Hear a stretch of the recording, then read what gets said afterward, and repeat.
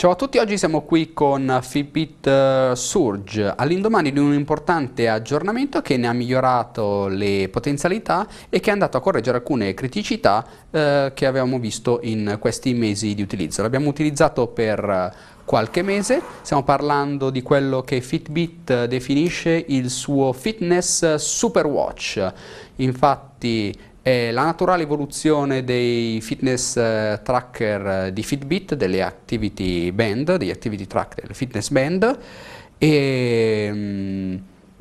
utilizza un display di eh, dimensioni abbastanza generose per il settore del, degli activity tracker e quindi permette di avere diverse informazioni rispetto a quelle che ci dava ad esempio Charge HR che aveva un piccolo eh, display LCD. Eh, abbiamo l'orario, la data e poi tutti i dati della nostra giornata, i passi, eh, il battito cardiaco, poi vedremo appunto una delle cose interessanti, la distanza percorsa, le calorie, i piani saliti e mm, e tutti i dati che poi ritroviamo comunque anche nell'app. Dicevamo all'indomani di un importante aggiornamento che ha portato delle nuove funzionalità nell'ambito sportivo, perché questo è un uh, dispositivo che Fitbit indirizza agli amanti del fitness e anche al pubblico, ad esempio, amante della corsa. Infatti va a posizionarsi sopra gli activity tracker eh, sconfinando nel, nel, campo degli sport watch con GPS. Infatti una delle caratteristiche è quella di avere un GPS integrato. Quindi con Surge possiamo andare a monitorare le nostre attività all'aperto avendo la completa traccia GPS e avendo sul display del, dell'orologio il nostro passo istantaneo, il, il passo medio, la durata dell'allenamento e la distanza percorsa senza doverci appoggiare allo smartphone come invece eh, fa un dispositivo come Charge. Trattandosi di un activity tracker naturalmente ha accelerometri integrati che tengono traccia dei passi che facciamo durante il giorno ma anche della nostra attività notturna dandoci nell'app una panoramica di come abbiamo dormito. Tra le caratteristiche dicevamo c'è quella di avere, l'abbiamo mostrato anche prima, un sensore di battito cardiaco all'interno sotto la cassa a diretto contatto con la pelle e già che ci siamo qua facciamo vedere il eh, il sistema di aggancio e di connessione al cavo USB che ci permette di collegare Surge al PC per eh, la ricarica del, della batteria interna. Batteria interna che inizialmente era data per 5 eh, giorni di autonomia e circa 5 ore in modalità GPS, l'aggiornamento appena arrivato dovrebbe aver migliorato di molto l'autonomia la, del GPS arrivando fino a 10 ore. È un orologio che ci permette di tenere traccia non solo dell'attività eh, di corsa ma anche ad esempio del, eh, dell'escursionismo, delle nostre camminate e anche della bicicletta. Ci sono diverse modalità di esercizio che possiamo scegliere e poi ci troveremo nella, nella nostra app memorizzata l'attività già con la categoria giusta.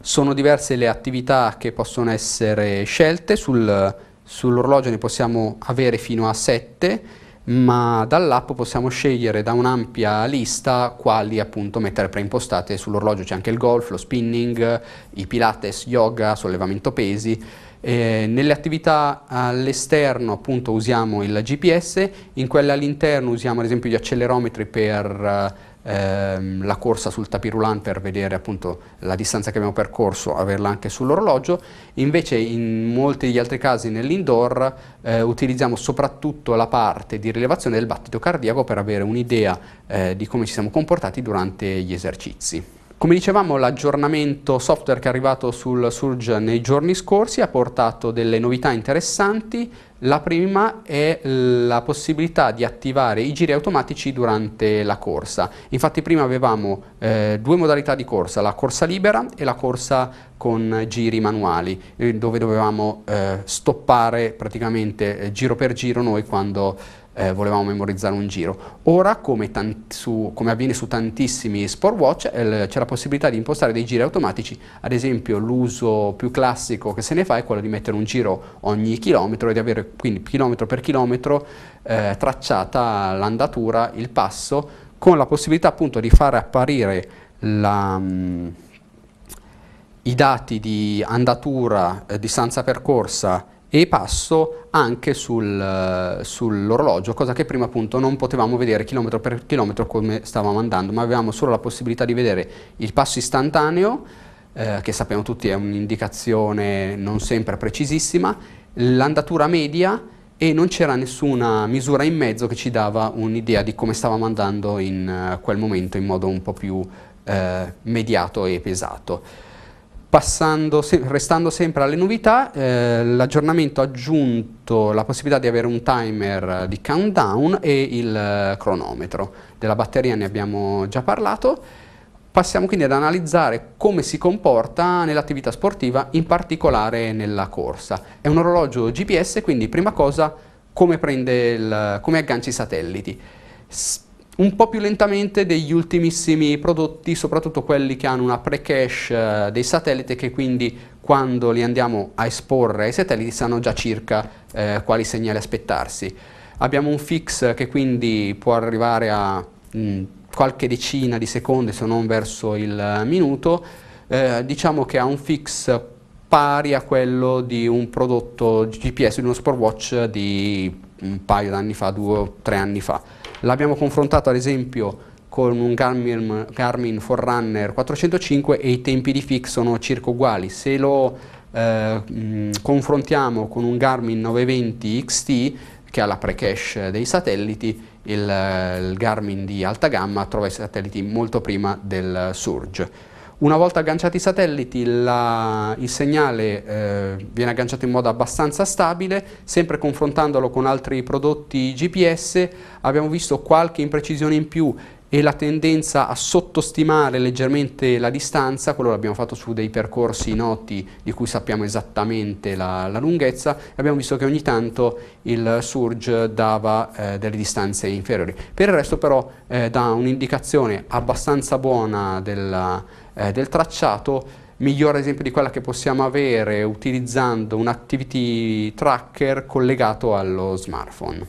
Durante la corsa abbiamo detto prima mancava assolutamente la possibilità di avere l'autogiro, quindi era una mancanza abbastanza critica. Eh, messa questa funzione ci sono alcune altre piccole criticità. Il display quando andiamo a fare un esercizio, a una corsa a tre campi, in alto abbiamo la distanza ed è fissa, in mezzo abbiamo il tempo totale di percorrenza ed è fisso e solo il campo in basso è diciamo, personalizzabile o comunque eh, mobile. Eh, scorrendo con il dito è possibile passare dalla velocità istantanea alla velocità media su tutto il, il percorso, al battito cardiaco, all'orologio, ai passi eh, effettuati durante l'attività e alle calorie. Diciamo quindi che rispetto agli Sport Watch, eh, come per esempio appunto una delle proposte di Garmin, in cui ci sono diverse schermate personalizzabili con i campi dati che l'utente vuole mettere, qui siamo un po' più limitati sul, dal punto di vista delle informazioni che possiamo ricevere in tempo reale dal, eh, dal nostro orologio un orologio sportivo ma anche un orologio normale, un orologio normale che quindi ci accompagna durante tutto il giorno, eh, che grazie al tipo di display eh, mostra sempre l'orario, eh, di notte possiamo anche attivare, far attivare la retroilluminazione per vederlo quando appunto c'è mancanza di luce o girando il polso oppure schiacciando uno dei pulsanti. Comunque in generale durante il giorno con una luce che sia quella che ci permette di leggere una qualsiasi pagina eh, di carta, vediamo comunque sempre l'ora senza dover attivare la retroilluminazione. Tra le funzionalità da orologio normale abbiamo la sveglia, sveglia silenziosa a vibrazione, molto comoda se vogliamo alzarsi senza svegliare vicini di letto, compagni di letto o compagni di stanza, le sveglie sono um, impostabili dall'app o dal pannello web, se ne possono impostare diverse, poi possono essere attivate e disattivate direttamente dal dispositivo. L'unica pecca è che non posso creare una nuova sveglia direttamente dal dispositivo, quindi per creare una nuova sveglia devo passare attraverso il telefonino o attraverso il pannello web e devo avere una connessione internet. Il telefono deve per aggiornare il, le sveglie deve praticamente connettersi al, al server e quindi se siete all'estero senza roaming e senza wifi non potete mettere una sveglia nuova. Per quanto riguarda la visualizzazione dei dati, l'app e il pannello web sono generalmente molto chiari, mettono, fanno vedere esattamente l'attività fatta, i passi fatti, anche andando nelle attività sportive è molto chiaro eh, quello che si è fatto, sia la traccia, sia il tempo totale, la distanza, i giri che vengono in realtà, sebbene non ci fosse l'autogiro sul, eh, sul, um, sull'orologio, nell'app trovavamo già tutti i giri chilometro per chilometro eh, messi in modo automatico. L'unica pecca, altra pecca che possiamo trovare è che non c'è una perfetta continuità tra l'esperienza del pannello web, dell'orologio e dell'app. Alcune impostazioni più particolari le troviamo solo sul pannello web, molte delle altre le troviamo sull'app, mentre entrando nel eh, pannello impostazioni dell'orologio ne troviamo una serie molto più limitata. Quindi a volte quando dobbiamo andare a modificare un parametro, eh, ad esempio attivare o disattivare i giri automatici o mettere la distanza della falcata per eh, le attività indoor, eh, ci troviamo un po' spaesati perché non le troviamo sull'orologio, le cerchiamo sull'app, non le troviamo sull'app, alla fine magari le troviamo solo sul pannello web.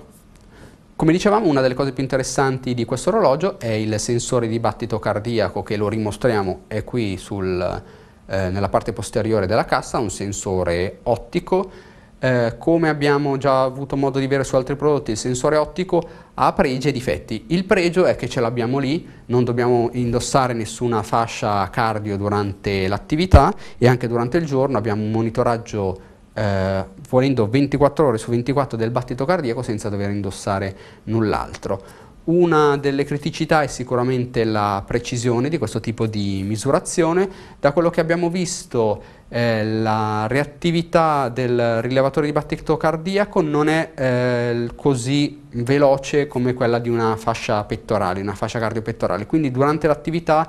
variazioni repentine del battito cardiaco non vengono registrate così bene sul surge come avverrebbe con un altro dispositivo con la fascia pettorale e anche l'andamento del battito cardiaco è molto più ballerino e frastagliato rispetto a quello eh, di una fascia pettorale che è più lineare e continuo. E quindi da questo punto di vista è molto comodo avere la, la, rilevazione del battito cardiaco al polso, ci dà in ogni momento una buona indicazione di quale zona cardiaca, in quale zona cardiaca ci stiamo muovendo, ma sicuramente non è possibile utilizzare il sensore integrato in Surge per avere un'indicazione precisa del battito cardiaco, sia mentre si stanno facendo gli allenamenti, quindi quando bisogna muoversi in modo rapido tra le diverse fasce cardiache, fasce di utilizzo del cuore, e sia quando poi andiamo ad analizzare nell'app i dati, quindi non possiamo avere un'analisi puntuale della, della eh, del battito cardiaco, comunque eh, l'andamento eh, viene rispecchiato in modo abbastanza, abbastanza buono, abbastanza preciso. Quindi per un utilizzo amatoriale e fitness è sicuramente un parametro molto interessante eh, che sarà ben gradito ad esempio a quelli che hanno uno sport watch e non hanno la fascia cardio. Per chi è più addicted o vuole entrare più nello specifico dei suoi allenamenti, eh, il rilevatore ottico forse non è ancora abbastanza. Discorso diverso per quanto riguarda la rilevazione del battito cardiaco a riposo, quello che l'orologio fa eh, durante il giorno a intervalli regolari. Eh, la, pensavamo una feature eh, non del tutto utile, invece abbiamo scoperto che un indicatore veramente ottimo e preciso del proprio stato di salute. Si vede proprio come nei momenti di stress, sia esso stress emotivo, stress fisico da viaggi, trasferte o anche stress da malattia, un mal di gola, un'influenza, l'andamento del battito cardiaco riposo sale e mentre invece quando arrivano i periodi di maggiore rilassamento l'andamento del battito cardiaco ha dei plateau verso il basso. Non pensavamo potesse essere eh, così preciso e utile, invece in realtà è un dato che se impariamo a tenerlo d'occhio ci racconta di come un po' come sta andando la nostra vita. Se volessimo fare una battuta e dirla alla milanese imbruttito, eh, è un sensore di sbattito cardiaco.